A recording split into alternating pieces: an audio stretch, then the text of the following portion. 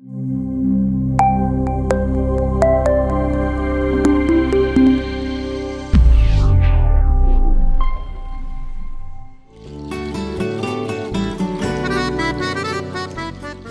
moçada, mais um programa sem alambrado pela sua Lagoa TV. Um programa feito pro homem do campo, pro homem da cidade. Um programa feito para você. Hoje, nosso convidado especial, mais uma vez, nosso querido Mindu, Anderson Soares.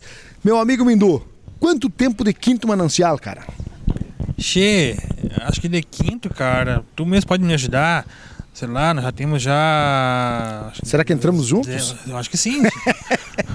Na época que começou a, o, o bar, que era de propriedade sua, que era o Pachola, né, cara? Foi quando a gente entrou lá, começou a tocar, a fazer alguns barulhos lá, isso já faz uns 10, 15 É, anos por aí, isso, né? Uns 15 anos, É, uns tranquilo. 15 anos tranquilo aí, que a gente já tá no, no quinto manancial aí, fazendo barulho. Outra coisa que eu quero te perguntar.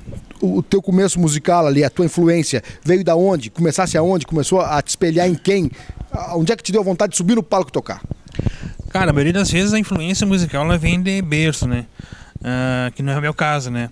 Porque meus pais, apesar de serem grandes admiradores da música gaúcha, eles não são Um abraço pro Lauro Paivone. É, um beijo pra eles tudo.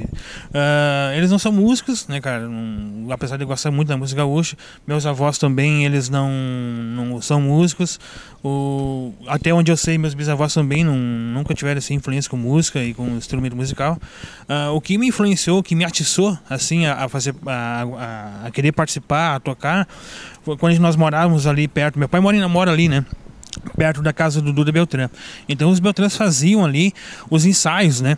E aí lá de casa eu ouvia o barulho da, da cordiona tocando e eu fui me aproximando, fui chegando perto, ficava no muro olhando, e aí depois já pulei o muro, já fui chegando, né?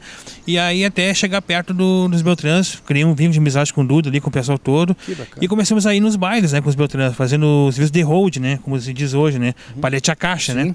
Carregamos caixa, montava o som, e quando chegava aquela parte que era de passar som, aí onde nós tínhamos a oportunidade de chegar perto dos instrumentos, chegar perto da bateria, do- da guitarra, do baixo, da gaita. Então a gente ficava passando o som e dali a gente começou a, a, a ter admiração pelo instrumento e querer tocar também e fazer parte daquela banda também, que era, um, nossa, era, um, era maravilha querer fazer parte. Então foi daí, o meu primeiro instrumento praticamente foi bateria, né? O Dariel já tocava já com nós na- nos Beltrans. Eu fazia umas canjinhas lá de bateria pra ele, às vezes no meio do bar e tal. Quando ele se perdia, né, ia, ia no banheiro, mas quando a gente via, tava ele no meio do salão, né, dançando com uma prendinha e outra. e aí ficava eu lá tocando bateria. E ah, foi isso aí. Depois eu fui, ah, ganhei um violão de presente do meu, de emprestado do meu tio. Fui fazendo algumas coisinhas nele, tirando de ouvido e aprendendo com revistinha e tal. Nunca tive professor, né? Ah, sempre aprendi tudo sozinho, Que que, eu sei, até hoje é no meu próprio punho, né? As coisas que eu aprendo ali. Isso até me faz falta hoje não ter, tido- não, não ter, não ter tido uma aula, uma teórica, Sim. mas foi dessa parte aí. Uma trajetória bonita, gente. Uma história bacana. Só pra lembrar que o Maninho, irmão do Mindu, também é componente do Quinto Manancial, os dois tocam com a gente no mesma banda aí há muito tempo. E tinha mais um pessoal que quer ouvir música. Se dá esse microfone pra cá, vamos fazer uma junto aí? Vamos. Então tá. José Cláudio Machado.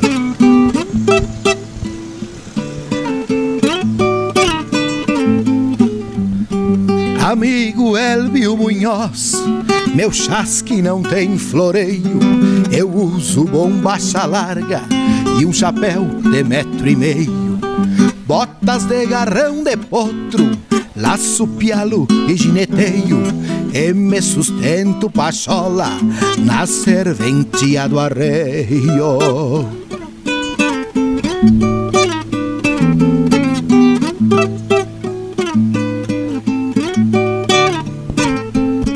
por voltas que a vida faz para açoitar um cristão. Ando cortado dos trocos, freio e pelego na mão, sem um cavalo de lei pra visitar meu rincão. O nosso caiboate grande que guardo no coração.